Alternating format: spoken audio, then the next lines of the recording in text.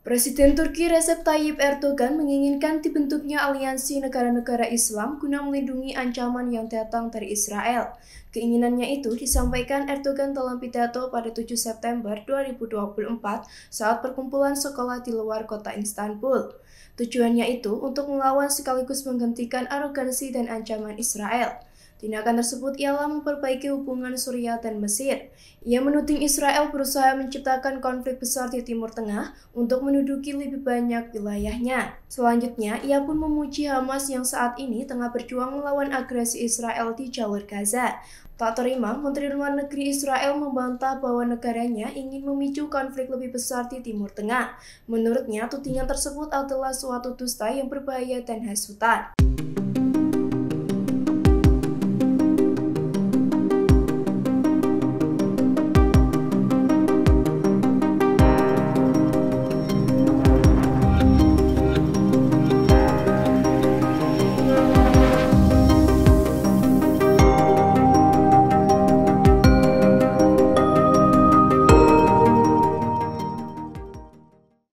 Hizbullah di Lebanon kembali menyerang Zionis dengan menargetkan kota Kiryat di Israel Utara pada 8 September 2024 kemarin. Dalam serangan itu, Hizbullah meluncurkan dua salvo rudal falak pada waktu yang bergantian.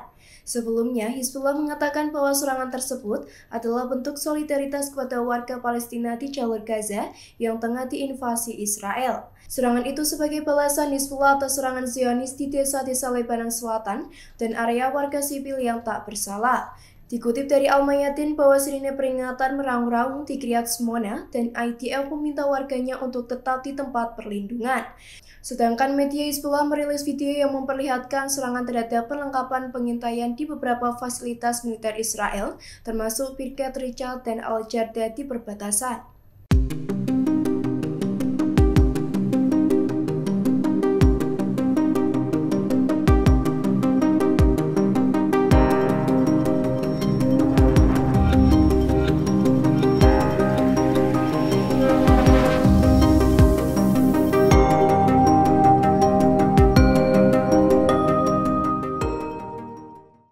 Iran membantah keras laporan yang menyebut pihaknya mengirim bantuan senjata ke Rusia untuk perang melawan Ukraina. The Wall Street Journal menyebut laporan mereka berdasarkan bukti yang diberikan oleh pejabat-pejabat Amerika Serikat dan Eropa. Sebelumnya, pemerintahan Joe Biden di Amerika Serikat mengancam akan merespon dengan keras jika Iran mengirimkan senjata kepada Rusia. Dilaporkan pada bulan lalu bahwa Iran berencana akan mengirimkan ratusan rudal balistik jarak pendek FA-360 ke Rusia. Rencana Iran untuk Perserikatan Bangsa-Bangsa menyatakan bahwa Iran tak menyediakan senjata baik ke Rusia maupun Ukraina. Pejabat Amerika Serikat dan Eropa sebelumnya menuduh Iran untuk menyediakan sejumlah drone kepada Rusia. Militer Rusia yang terlihat menggunakan drone Shahid Iran yang dikenal dengan drone bunuh diri. Beberapa waktu lalu, Iran mengakui telah mengirim beberapa drone ke Rusia di awal perang. Namun, kini disebutkan tak ada kesepakatan baru yang dicapai.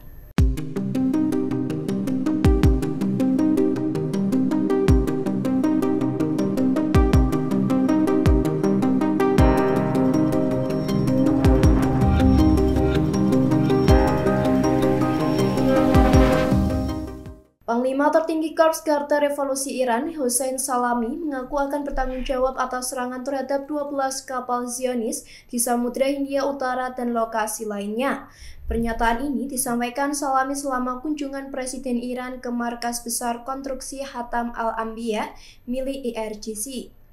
Hal ini berbarengan dengan ketegangan antara Iran dan Israel selama berminggu-minggu pasca kematian pemimpin politik Hamas Ismail Haniyeh pada Juli silam. Salami mengatakan serangan 12 kapal itu adalah serangan balasan atas penargetan 14 kapal minyak Iran di Laut Merah dan Mediterania yang diserang Zionis tanpa bukti.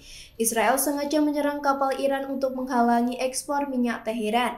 Salami menekankan tak hanya serangan balasan, IRGC juga mengambil tindakan untuk mengamankan jalur pelayaran hingga memerangi kelompok teroris takfiri yang beroperasi di luar negeri. Saat ini, Israel telah teralihkan perang di jalur Gaza dan menganggap Iran telah memperoleh keuntungan di laut.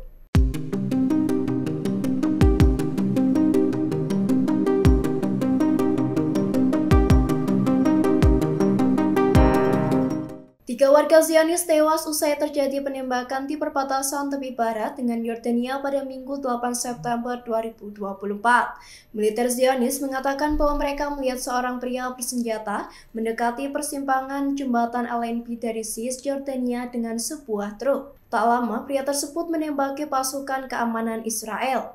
Tak terima, Zionis pun langsung membalas tembakan dan membunuh pria bersenjata itu. Dikutip dari Arab News bahwa pria itu terdeteksi sebagai pensiunan tentara Yordania bernama Maher Al-Jazi. Kemudian pihak Israel mengumumkan penutupan kedua penyeberangan daratnya dengan Yordania dekat Beit Shean di utara dan Eilat di selatan. Mendengar kabar tiga warganya tewas, Perdana Menteri Israel Benjamin Netanyahu mengamuk. Netanyahu mengutuk serangan tersebut dan mengaitkan dengan konflik yang lebih besar dengan Iran, Hamas, dan Hizbullah.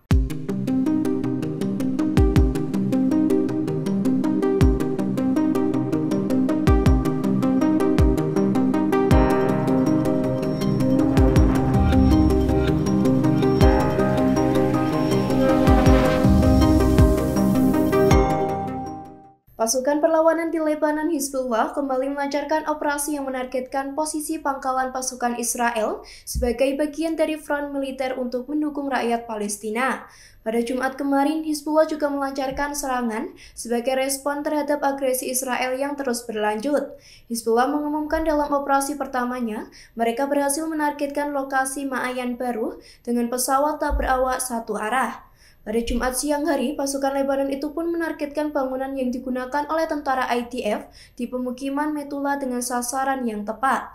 Hizbullah mengatakan serangan itu sebagai respon Israel terhadap desa-desa selatan dan pembunuhan di kota Kafra yang mengakibatkan terbunuhnya wanita sipil dan dua orang lainnya terluka serius.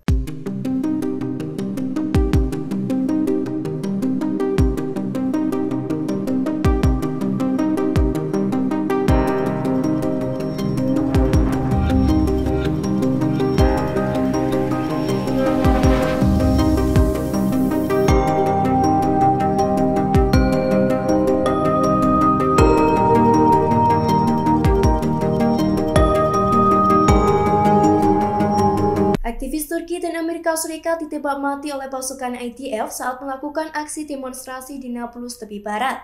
Peristiwa itu terjadi pada Jumat 6 September 2024 kemarin. Mengetahui kabar itu, Presiden Turki Recep Tayyip Erdogan langsung mengutuk rezim Zionis. Menurutnya, apa yang dilakukan Israel adalah biadab terhadap demonstran yang tak bersalah. Tak hanya itu, Erdogan juga meminta Israel untuk bertanggung jawab atas peristiwa ini dan genosida di jalur Gaza. IDF dilaporkan telah sengaja menargetkan aktivis Amerika Serikat bernama Eisenhower SG Aiki dengan peluru tajam. Terdapat saksi mata yang menemukan Aiki terbaring di tanah di bawah kebun zaitun dengan berlumuran darah, hingga ia meletakkan tangannya untuk menahan darah yang bercucuran di kepala Aiki, yang langsung menghubungi pihak rumah sakit untuk memberikan pertolongan pertama. Direktur Rumah Sakit Rafidia di Nablus mengatakan bahwa Aiki tiba di rumah sakit dalam kondisi kritis. Medis mencoba untuk melakukan upaya penyelamatan, namun naas nyawa aktivis Amerika Serikat itu tak dapat diselamatkan. Sebagai informasi, kedatangan Egi ke tepi barat untuk menjadi sukarelawan di Gerakan Solidaritas Internasional sebagai kampanye melindungi petani Palestina dari kekerasan rezim Israel. Pasukan Hizbullah dari Lebanon kembali melancarkan serangkaian serangan udara menggunakan pesawat tak berawak. Serangan itu menargetkan posisi militer Zionis di wilayah utara Palestina yang diduduki. Salah satu operasi menargetkan lokasi militer Zaura, tempat Hizbullah mengklaim telah berhasil menyerang baterai Iron Dome, Israel, dan titik-titik perakitan Zionis. Serangan itu menyebabkan serangan langsung ke lokasi militer Zaura dan menyebabkan jatuhnya korban di kalangan IDF. Hizbullah menekankan operasi itu dilakukan untuk mendukung rakyat Gaza dan sebagai balasan terhadap serangan Zionis belakangan ini di desa Lebanon Selatan. Hizbullah juga menargetkan perkumpulan tentara Israel di dataran tinggi Abu Dajjal dengan peluru artileri yang mengakibatkan jatuhnya korban lebih banyak lagi. Hizbullah menyebut bahwa tindakan itu sebagai bentuk solidaritas dengan perlawanan Palestina.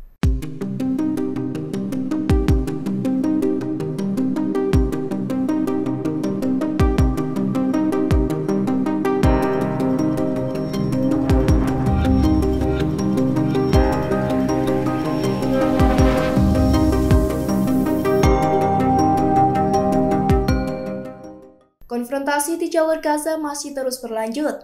Berita luas di media sosial yakni video jasad bocah Palestina yang masih mengenakan sepatu roda berwarna merah muda di kakinya. Bocah perempuan itu rupanya bernama Tala Abu Ajwa, usianya baru 10 tahun. Tala bisa melewati 332 hari genosida yang dilakukan Zionis dengan banyaknya pengeboman tanpa pandang bulu.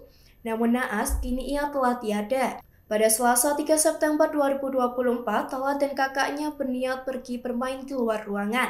Namun saat Tala baru saja menyampai lantai bawah gedung yang ia tinggali, gedung itu meledak. Serpihan peluru menembus udara dan menusuk lehernya. Di dalam foto, tampak Tala masih mengenakan sepatu roda pinknya, sementara tubuhnya ditutupi dengan kain kafan putih. Tak percaya, sang ayah menangis histeris melihat tubuh sang putri berlumuran darah. Abu Ajwa ayah Tala mengatakan bahwa serangan udara itu melukai beberapa anak yang lain yang masih dirawat di rumah sakit dan menewaskan 8 orang lainnya. Download Tribun X sekarang. Menghadirkan lokal menjadi Indonesia.